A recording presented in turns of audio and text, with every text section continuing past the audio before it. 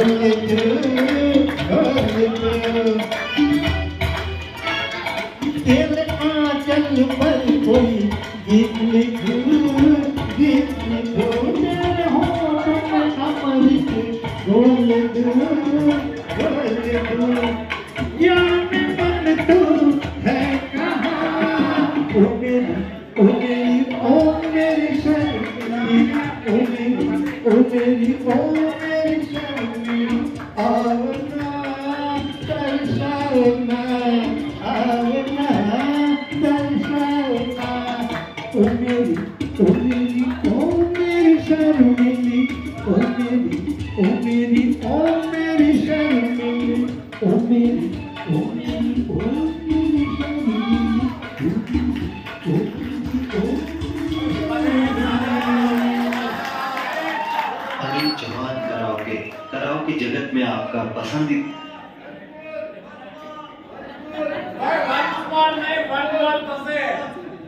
हम अ, समझ सकते हैं आपकी मोहब्बत को हमारे पंडित साहब के लिए पहले एक बार जोरदार ताली हो जाए मैडम आप ऊपर बैठो, बैठो। हाँ जी। એક વાર જોરદાર તાળીઓ થઈ જાય કારણ કે અને અ, પંડ્યા સાહેબ જ્યારે જો આ આપણે કહેવાય કે જીવન છે અને જીવનમાં નાની મોટી નોકઝોક કોઈ ચાલતી હોય દરેકના જીવનમાં નાની મોટી નોકઝોક ચાલતી હોય પણ જ્યારે પણ કોઈ કહેવાય કે આપણા વાઈફ હોય, બરાબર ને પાર્ટનર હોય, ત્યારે રૂઢી જાય આપણાથી કંઈક ને કંઈક નાની મોટી એની અંદર, તો આપણે કંઈક ને કંઈક જે પુરુષ હોય ને હંમેશા કોશિશ કરતો હોય કે ચાલો હવે શું કરવું?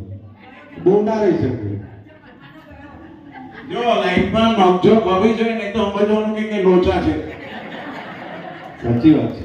પણ કહેવાય છે કે નોકજો વાય હોતી છે જ્યાં મોહબ્બત હોતી છે પણ જ્યારે અમારા મેડમ તમારાથી ઉઠી જતા હોય તો તમે કઈ રીતે આમ કંઈક મનાવો છો એટલે કઈ રીતે બને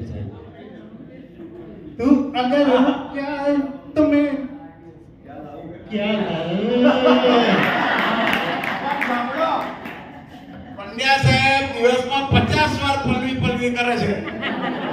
કઈ બી હોય તો કે મારા ઘરના ડિસિઝન બધા પલવી લે. એટલે ટંડે સાહેબે મને કીધું હતું કે અમારા છે ને મેં એમને પૂછ્યું હતું કે તમે આટલા ખુશ કેવી રીતે રહી શકો છો? તો મને કીધું, બેટા સુભાષ, એમાં એવું છે કે જે બધા મોટા મોટા ડિસિઝન છે ને, એ મેડમ લે છે. અને બધા નાના નાના ડિસિઝન હું લઉં છું. તો કે કયા કયા મોટા, એટલે કે મોટા ડિસિઝન તો કે ભાઈ આપણે કયું ઘર લેવું?